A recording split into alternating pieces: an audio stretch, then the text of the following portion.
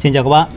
Hôm nay mình giới thiệu với các bạn cuốn sách Thực hành X quang ngực do tiến sĩ Nguyễn Văn Thành biên soạn. Thầy Thành là hiện đang là trưởng khoa hô hấp của bệnh viện Đa khoa Cần Thơ. Ừ, đây là một cuốn sách viết về X quang ngực rất là hay. Mình có đọc nhiều cuốn sách về X quang thì mình thấy đây là một, một cuốn rất là hay và thực tế. Trước đây thì ừ, phần lớn các cuốn sách về X quang là do các bác sĩ chẩn đoán hình ảnh biên soạn nên họ chú trọng nhiều vào kỹ về kỹ thuật X quang.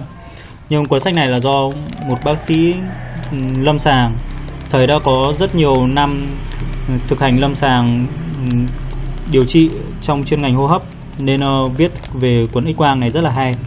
Trong cuốn sách này thì có rất là nhiều uh, những cái hình ảnh ví dụ minh họa um, và cập nhật từ nước ngoài. Sách thì uh, đặc biệt là cuốn sách này đã được uh, Phó giáo sư tiến sĩ Đinh Ngọc Sĩ, Giám đốc Bệnh viện Phổi Trung ương, Chủ tịch Hội Lao và Bệnh phổi Việt Nam uh, góp ý và giới thiệu với độc giả.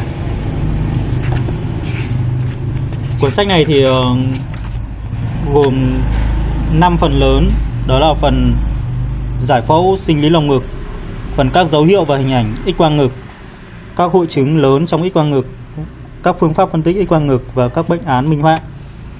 Cái cuốn sách này thì thầy Thành thầy viết rất là um, kỹ, rất là hay với rất là nhiều hình ảnh minh họa được in màu và in đen trắng rất là rõ.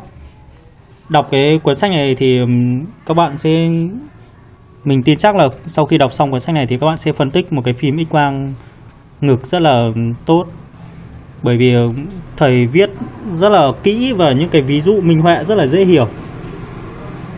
Sách này thì hiện đang được nhà xuất bản trẻ phát hành với giá là 120.000.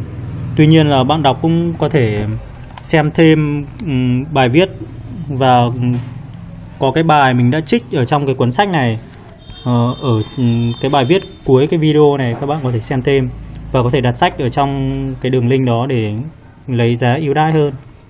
Cảm ơn các bạn.